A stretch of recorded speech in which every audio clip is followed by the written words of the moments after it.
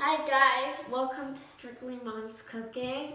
And today for snacks, I'm having pan de sal, also known as more like parman de sal. Just, just kidding.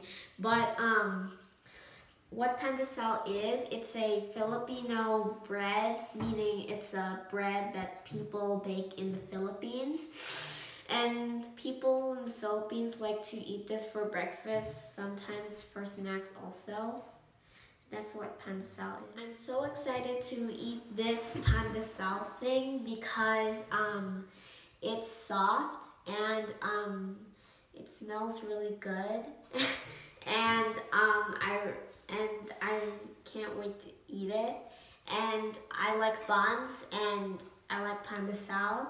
And another type of bun, another bun bread that I've had is called the soft honey buns.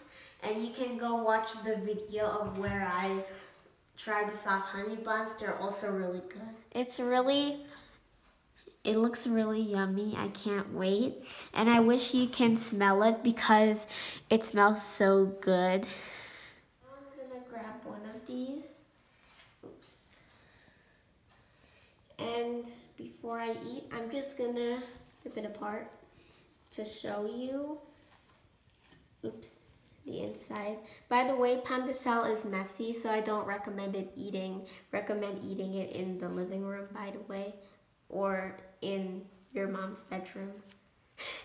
Oops, it's a little bit hot in the inside.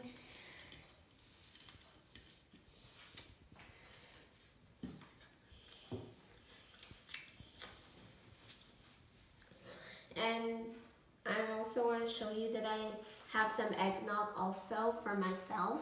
Sprinkle some cinnamon on it. I'm to start mixing it. I'm not sure.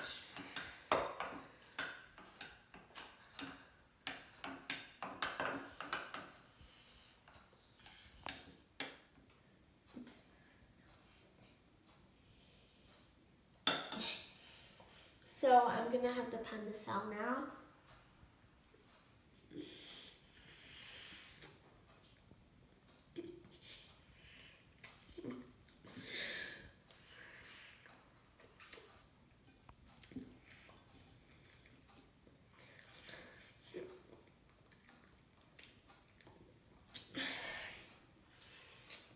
Ooh, it tastes like happiness and a hot fart.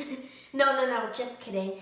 Actually, it tastes really good and it's kind of, it tastes kind of like the soft honey buns, if you will.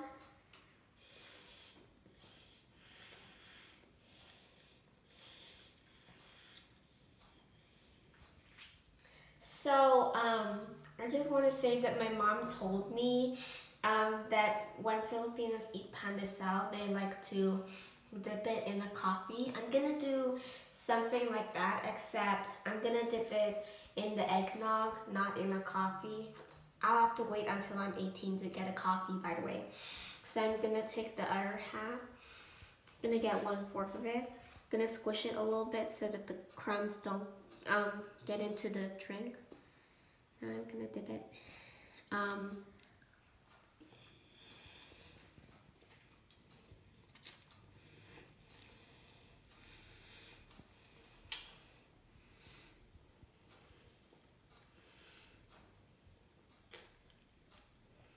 Hmm. It's okay with the eggnog, but I still would like to eat the pandesal plain without dipping it in. in.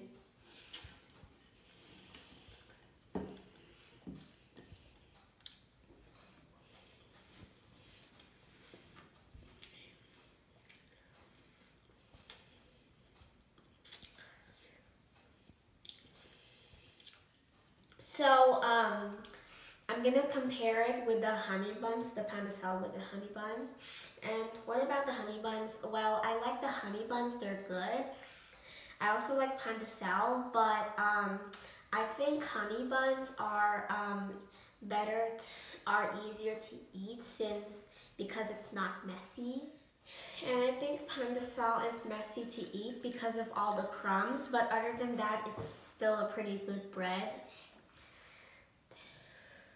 Gonna eat a little bit more before I rate.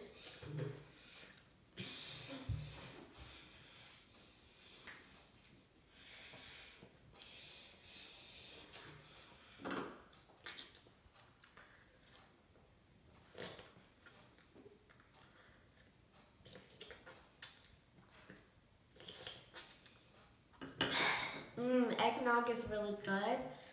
Okay, so now I'm gonna rate it now. And guess what? It's a zero out of 10. Mm -mm, I don't like it. No, no, no, no, no, no, no. Just kidding, just kidding. I've actually reached the gold star once again because I, it's a 10 out of 10. Why am I always so dramatic when I get a 10 out of 10? okay, so as I said earlier, it, um, I really like the bread pan de sal, so that's why it's a 10 out of 10. So I hope you guys enjoyed this video. Thank you for watching Strictly Mom's Cooking. Remember to like and subscribe, and I'll see you next time. Bye!